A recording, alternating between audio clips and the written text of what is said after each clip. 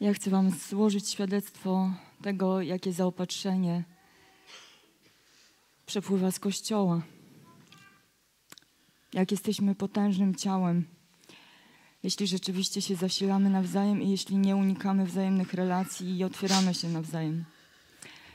Wczoraj przyjechałam do Żerardowa. Umawialiśmy się chyba, nie wiem, miesiącami się umawialiśmy z Madzią i z Mariuszem. E, I słuchajcie, mm, no, ewangelizowaliśmy razem. Zobaczyłam, jakim potężnym punktem wpływu oni są. Jakim światłem są tam na tym miejscu. Jak są otoczeni poważaniem, mimo tego, że ludzie nie rozumieją tego, czego oni, co oni prezentują sobie, sobą. Nie rozumieją tego, dlaczego Mariusz co sobota o dziewiątej staje i mówi swoje świadectwo, ale każdy z nich wie, że on idzie głosić Słowo Boże. W ogóle po drodze spotkaliśmy ludzi, różnych ludzi. I oni, to co Mariusz, idziesz głosić Słowo Boże? A Mariusz mówi tak. W ogóle. I stoi tam i ma potężny, potężny wpływ. Później odwiedziłam Madzie w, w sklepie i muszę wyznać coś. Ja w ogóle miałam tak, że e, prawdopodobnie to był duch dziadostwa, mm, że wydawało mi się, ok, wystarczy jak mam jedną parę butów, jedną torebkę, dopóki się nie zniszczyła, niech będzie. I tak patrzyłam sobie na biznes Madzi i miałam gdzieś taką wewnętrzną wzgardę, tak? Że ona na, nakręca koniunkturę, że ona konsumpcjonizm nakręca i tak dalej. To jakiś czas temu ode mnie odpadło. Ale w, wczoraj, jak weszłam do jej sklepu i zobaczyłam te buty, w ogóle zobaczyłam ją w żywiole takim, w ogóle w tym, o czym marzyła od dzieciństwa. Amen. Zobaczyłam, zresztą z Agnieszką miałyśmy takie odczucie, potężna rzeka łaski. Ona Amen. to wszystko robi w łasce. Ona wchodzi, a do niej przychodzą kobiety jak do psychologa, socjologa, nie wiem, lekarza. Po prostu pytają się o skrzypiące buty, a ona im daje mądrość życiową. Amen. Nie? E, I spojrzałam w ogóle na, na dół i patrzę te buty. Przyciągnęły mój wzrok, te buty i, myślę sobie, wow, jakie buty, ale zupełnie do mnie nie pasują. Bo to nie, nie, nie są moje buty, ale takie fajne. E, no i nic. I oglądałyśmy sobie z Agnieszką. E, Magda nam trochę po, po, pokazała różnych rzeczy. E, I bardzo chciałam mieć czerwone buty do, na ulicę do głoszenia Ewangelii, więc kupiłam sobie u niej te buty. I jakiś czas później już się tam żegnałyśmy, żeby jej zostawić przestrzeń do zajmowania się ludźmi.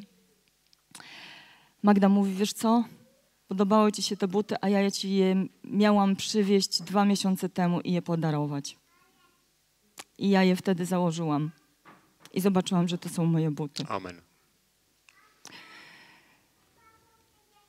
Wiecie, można to czytać fizycznie, ale nikt tak cię nie rozpozna, nawet jak ty sam się nie rozpoznajesz, jak Kościół. Bo z zewnątrz widać lepiej.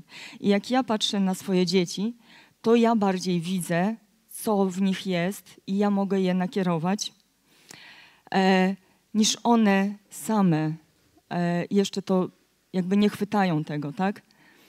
I to jest potęga Kościoła. I jak siedzieliśmy później jeszcze wieczorem przy stole, zaczęliśmy się modlić, to w ogóle popłynęły ze mnie takie słowa że Magda daje buty do głoszenia Ewangelii. Że każdy człowiek, który tam do niej przychodzi, to jest w ogóle, to jest potężne miejsce wzbudzania ludzi z martwych. Nie wiem, Amen. czy sobie zdajecie sprawę. Tam prawie każda klientka jak za, nie za pierwszym trafieniem, to za drugim albo za trzecim, oddaje życie Jezusowi. Ona je wyposaża w buty.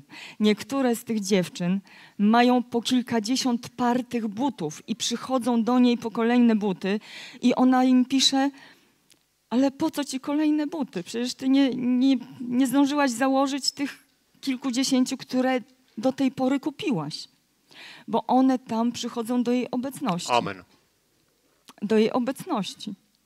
Madzia sama mi powiedziała, że ona prowadzi ten sklep tylko dlatego, żeby mieć po prostu wpływ na tych ludzi. Bo jej źródło zaopatrzenia jest z innego kanału. Potężna rzecz. I później rozmawialiśmy z Mariuszem. I Mariusz w ogóle pokazał serca ojca. W ogóle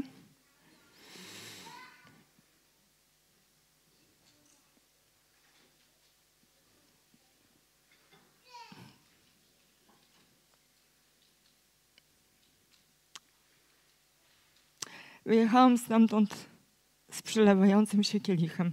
Amen.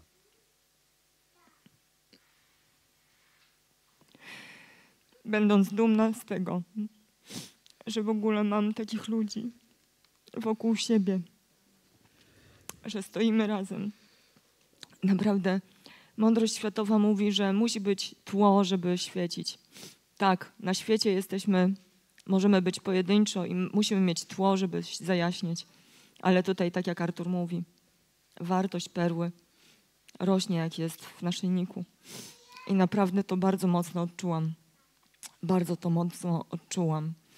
Więc jeżeli nie jesteś w tym naszyjniku, tylko z nazwy jesteś, tylko tutaj przychodzisz, a nie otworzyłeś się, nie, nie dałeś sobie tego komfortu, żeby otworzyć swoje serce przed innymi i dalej trzymasz gardę, to po prostu puść to.